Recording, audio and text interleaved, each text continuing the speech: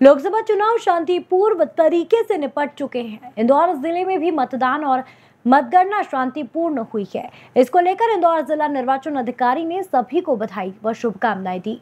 इंदौर में लोकसभा चुनाव की वोटिंग और मतगणना शांतिपूर्ण होने पर इंदौर कलेक्टर ने चुनाव में लगे सभी अधिकारियों और कर्मचारियों को बधाई दी।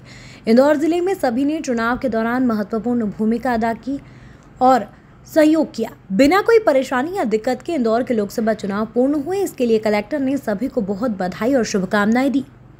देखिए, सफलतापूर्वक चुनाव संपन्न कराने के लिए अपनी पूरी टीम को मैं बहुत बहुत धन्यवाद देता हूँ बहुत बहुत बधाई देता हूँ। निश्चित रूप से चुनावी प्रक्रिया इतनी बड़ी होती है, इसमें इतने ज़्यादा आयाम होते हैं कि पूरे एक टीम एफर्ट की ज़रूरत पड़ती है। और पूरे इंदौर ज़िले की टीम ने, चाहे वो किसी भी विभाग की हो, जो भी उनको दायित्व दिए गए थे, उनका बहुत ही अच्छे तरीके से निर्वहन किया।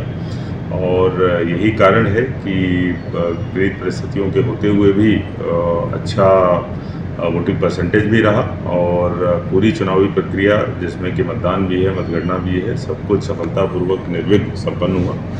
बहरहाल, मामले में कलेक्टर ने सभी कर्मचारियों और अधिकारियों को बधाई व शुभकामनाएँ दी। इंदौर से राजीव टाइम्स की रिपोर्ट।